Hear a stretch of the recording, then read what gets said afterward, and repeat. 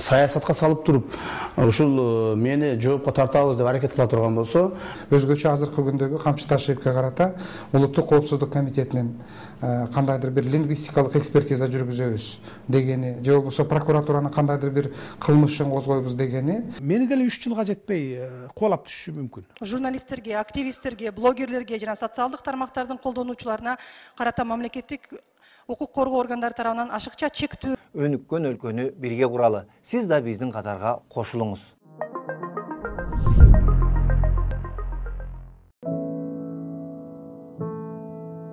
кыргыз мамлекети эгемендүүлүктү алган күндөн тарта кмш курамындагы өлкөлөрдүн арасынан алдыга сурулуп чыгып демократия аралчасы деп аталган ал кездеги ажооз академик аскар акаев да өлкөнүн ар тараптуу өнүгүшүнө чыныгы демократия гана өбөлгө болорун жар салган болчу эркиндик алдык деген элибиз эсепсиз кубанычка бөлөнгөн. Демократия шартында эркин журналисттер көз карандысыз медиалар бийлик өкүлдөрүнүн туура эмес кылган иштерин сындап көзгө сая көрсөтүп карапайым калкка чындыкты жеткирип жатышканда акаевчылар чыныгы демократияны жектеп адилеттикти артка жылдыра салып өз бийлигин чыңдоонун далалатын көрүп бийликке сын айткан массалык маалымат каражаттарын колдо болгон ресурстары менен тепкиге алып башташкан. Алгачкылардан болуп маалымат өкүлдөрүн саясатчыларды эки миңинчи жылдары эшимкановдун асабасы доого жыгылып жабылууга аргасыз болду андан соң ар бир жаңы келген бийликтин запкысын көрөт делген азаттык радиосуна каршы чабуул күчөдү акаев режимине каршы пикирин айткан саясатчылар куугунтукка кабылды абакка отургузулду ал мезгилдеги академик баштаган кыйынмын дегендер кыргыз эли туу туткан адам укугуна сөз эркиндигине кысым кылып жүрүп өз бийлигин кантип кыйратып алганын сезбей да калышты сыягы кызыгы эркин жмклардын жарандык коом активдүү саясатчылардын аркасы каратаман калктын колдоосу менен акаевден кийин бийликке келгендердин деле көпчүлүгү ашып барса алты айдан кийин баштагы демократиялык түшүнүктөн алыстаганды адатка айлантып жиберип жатышты маселен курманбек бакиевдин тушунда бийликке сын айткандар басмырлануу менен катар өз өмүрү менен кош айтышкан да болду бакиев демекчи анын заманында азыркы бийлик ээлери кысымга кабылбаганы менен эки миң онунчу жылдан кийин атамбаевдин ажолугу бабановдун өкмөт башчылыгында адилетсиздиктин азабын аябай тартты дегендердин алдыңкы сабында болду ачык оюн билдиргени үчүн кодуланып жатканын камчыбек ташиев ошол кездеги бийликтин акылсыздыгы катары айткан жайы бар чындыкты көзгө сая айткан нерсени ошол өкмөттүк айрыкча мына ктр ошол бабановду жактаган бабановдун акчасына сугарылган бабановдун акчасына азгарылган журналисттер көптөгөн дежурный аксакалдар сайрап чыгышып өздөрү өздөрүнчө бир баягы түшүндүрмө бере баштады то есть толкованияны өзүнчө кыла башташты.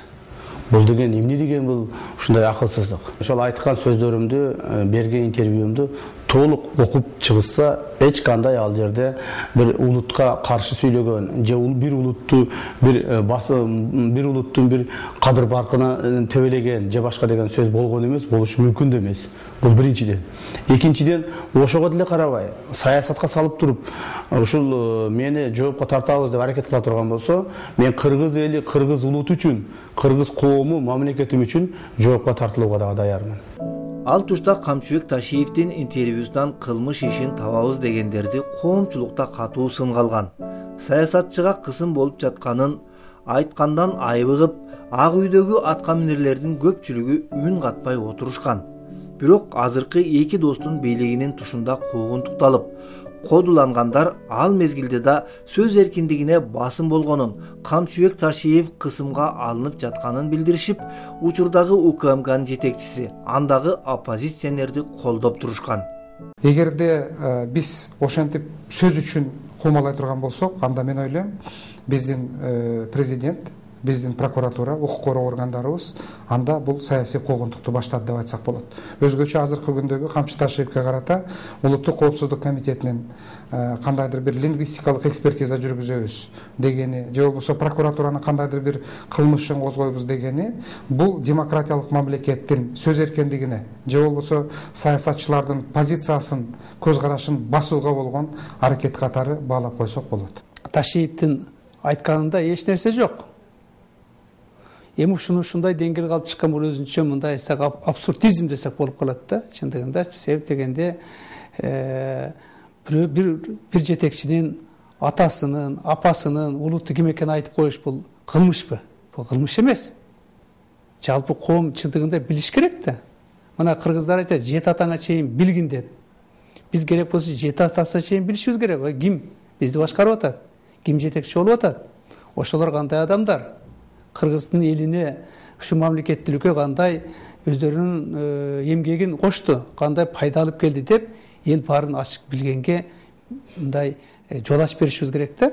Анын милдетүү дагы билгенге. Ошону айтканга дагы биз милдеттүүбүз.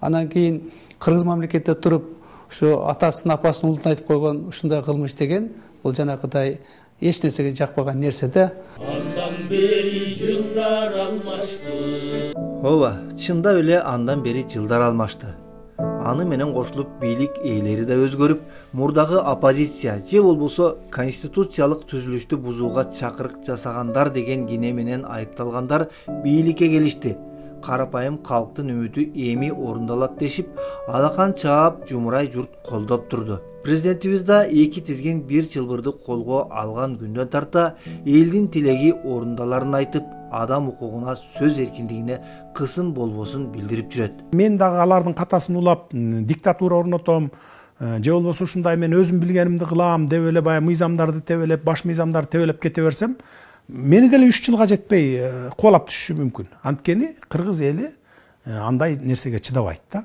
Ошондуктан бизде дайыма сөз эркиндиги баягы журналисттердинди коргоо адам укугун коргоо деген дайыма сакталат. Тилекке каршы ажообуз айткандай болбой жатат окшойт дегенибиз акыркы жылдары иликтөөчү журналисттердин куугунтукка алынышы.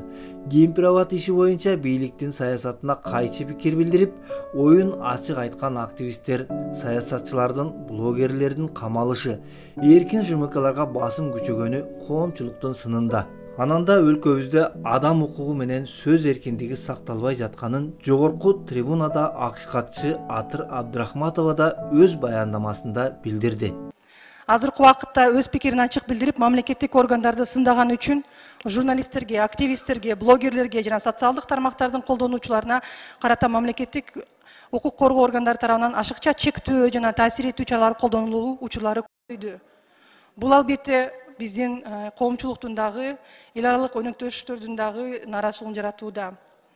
Көп учурларда кылмыш жаза кодексинин үч жүз отузунчу беренесинин расалык этностук улуттук диний жана региондор аралык кастыкты козутуу же болбосо эки жүз жетимиш сегизинчи беренеде көрсөтүлгөн бийлик өкүлдөрүнүн мыйзамдын талаптарына жигердүү баш ийбөөгө жана массалык баш аламактарды чакырыктар деп ушул шек ушул стерге жалпыга маалымдоо каражаттарына блогерлер активисттерге байланыштуу дээрлик баардык кылмыш иштеринде процессуалдык адам укугун бузуучулары бар экендигин анын ичинде эң эле чоң орчундуу көйгөй күнөөсүздүк презумпциясы тергөөнүн купуя сыры тараптардын тең укуктуулугу жана таандаштыгы бузулуп жаткандыгын ачык расмий бир нече ирет билдиргенбиз. Дагы деле депутаттардын көңүлүн чуга бурам. Эң эле кызыгы бул билдирүүдөн кийин жогорку кеңештин депутаттары акыйкатчыны мөөнөтүнөн мурда кызматынан бошотуу сунушун бербейишти ал эми жыйырманчы апрель күнү бийлик президенттин маалымат катчысынын оозу менен өлкөдө сөз эркиндиги бар экенин аны акыйкатчы сезбей жатканын маалымдады сөз эркиндиги боюнча эч кандай тыюу жок ким каалаганын сүйлөп жатпайбы митинг өтө турган жер горький сквери бар ким кайсыл убакта кааласа ошол жерге митинг уюштурат каалаган сөзүн эркин сүйлөйт аларды журналисттер блогерлер чагылдырып таратып жатышат социалдык тармактардан түз эфир кылып ар ким каалаганын сүйлөп жатат. Сөз эркиндигине эч кандай кысым жок бизде. Акыйкатчыга эле ошондой сезилип атса керек. Себеби акыйкатчы өлкөнү дестабилизация кылабыз деп камалгандарды эле коргоп карапайым элди коргогонун байкаган деле жокпуз. Өлкөгө бүлүк салам дегендер же адамды ак жеринен каралагандар жооп бериш керек да. Бирөөнү жөнү жок эле каралап коюп анан ал сотко берсе же үстүнөн арыз жазса эле мага кысым болуп жатат деген туура эмес да. Биринчи бирөөнү каралаардан мурда так маалыматтарды чогултуп алышың керек. Сотко берсе да сенин колуңда айныгыс далилдер турушу керек. Сенин айткандарың далилдүү болуп турса анан ага карабай сени жоопко тартып жатса анда сөз эркиндигин кысымга алып атат деп айтсаң болот. Коомчулук өлкөбүздө сөз эркиндиги сакталып адам укугу корголуп жатабы деген соолго жоопту издөө менен убара. Урматтуу көрүүчүлөр биздин каналыбыз дайыма мыйзамсыздыкка ал эшимдикке каршы күрөшүп келет. Коомдо болуп жаткан терс көрүнүштөрдү ашкерелеген чындыкты айткан материалдарга күбө болгуңуз келсе арча медиа youtube каналына катталыңыз. Ал үчүн телефонуңуздагы камераны күйгүзүп экранда көрүнгөн qr кодко багыттаңыз. Андан кийин шилтемени басып жазыласыз. Биздин материалдарды мүмкүн болушунча көп адамдар көрүшүнө сиз да жардам бере аласыз. Андыктан лайк басып өз пикириңизди калтырыңыз видеонун шилтеменисин башкалар менен бөлүшүңүз төмөндөгү telegram whatsapp номерлерге билдирүү жөнөтүңүз биз сиз менен байланышабыз мыйзам сыйлаган өнүккөн өлкөнү бирге куралы сиз да биздин катарга кошулуңуз